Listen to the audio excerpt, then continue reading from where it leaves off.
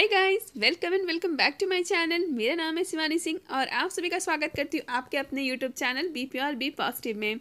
आप भी अपना नाम और आपके शहर का नाम कमेंट बॉक्स में ज़रूर से लिखें ताकि मुझे पता चले कि जो लोग मुझे देख रहे हैं, वो कहाँ से हैं और उनका प्यारा प्यारा नाम क्या है। तो चलिए दोस्तों, आज की वीडियो के बारे में बात करते हैं। आज की क्रीम आपकी लाइफ का बेस्ट क्रीम होने वाला है। अगर आप इसे बनाकर ट्राई करते हैं तो लाना कुछ नहीं है, खर्च कुछ नहीं है। महँगे महँगे आपको प्रोडक्ट जो आप यूज़ करते हैं, वैसी खर्च बिल्कुल नहीं है। गार्डन से आपको रोज़ पेटल लानी है और एक क्रीम बनानी है। और ये क्रीम आपको इतनी बेहतरीन ग्लो देगी इंस्टेंट ग्लो देगी।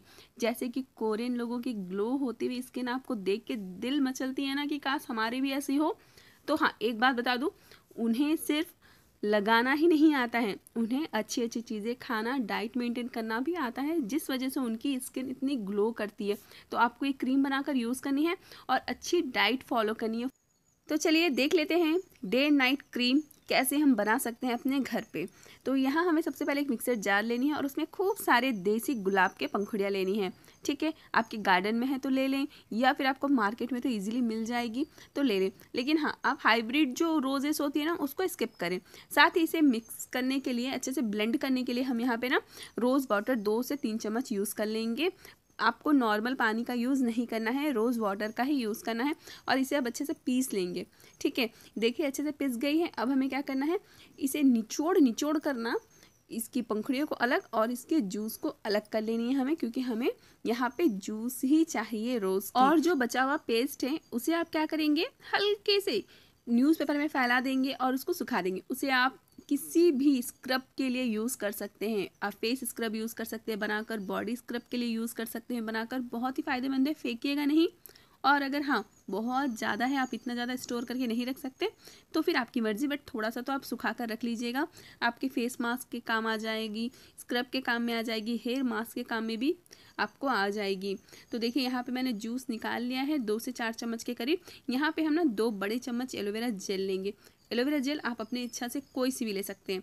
और यहाँ पे हम लेंगे विटामिन ई e की कैप्सूल एक या दो, ठीक है? आपकी स्किन अगर ड्राई है ना बहुत ज़्यादा तो आप दो यूज़ करेंगे और अगर ऑयली है तो एक करेंगे सेंसिटिव है तो भी आप एक करेंगे, ठीक है? बहुत सारे लोग कमेंट में पूछते हैं, मैम, इसे स्किप कर दे तो बनेगा, उसे स्किप कर दे तो बनेगा। तो प्लीज़ जो जो मैं बता रही हूँ ना प्लीज़ उन सब चीज़ों को ऐड कीजिएगा। यहाँ पे ना ऑलिव ऑयल लेंगे, आधी चम्मच बिल्कुल, या फिर तीन से चार ड्रॉप आप लेंगे। अगर आपकी स्किन ऑयली है तो ड्राई है तो आप आधी चम्मच यूज़ करेंगे, ठीक है? ऑयली है तो आप तीन से चार, पाँच ड्रॉप के करीब ही यूज़ करेंगे। चौथी जो चीज़ है, यहाँ पे हम ग्लिसरीन यूज़ करेंगे। आठ से दस ड्रॉप ग्लिसरीन हमें लेना है। स्किप नहीं करना है, मैं कह रही हूँ। ग्लिसरीन लेना ही है। मस्ट है, आप मत बोलिएगा कमेंट में। मैम इसको स्किप कर सकते हैं।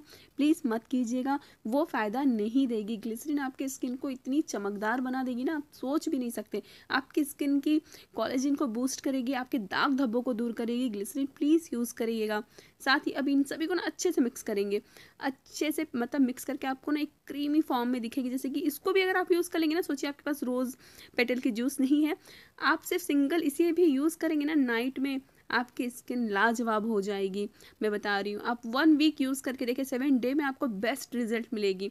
साथ ही अब हम क्या करेंगे ना, यहाँ पे धीरे धीरे जो गुलाब का रस है, हम थोड़े थोड़े क्वांटिटी में मिलाते जाएँगे। इस तरीके से देखिए, मिलाकर बेहतरीन क्रीम बनकर तैयार कर लेंगे।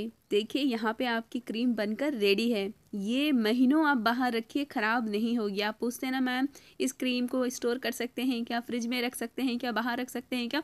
इस क्रीम को आप वन मंथ तक बाहर रख कर भी यूज़ कर सकती हैं। बिल्कुल ख़राब नहीं होगा। बचे हुए जूस को फ्रिज में रखें टोनर की तरह यूज़ कर सकते हैं।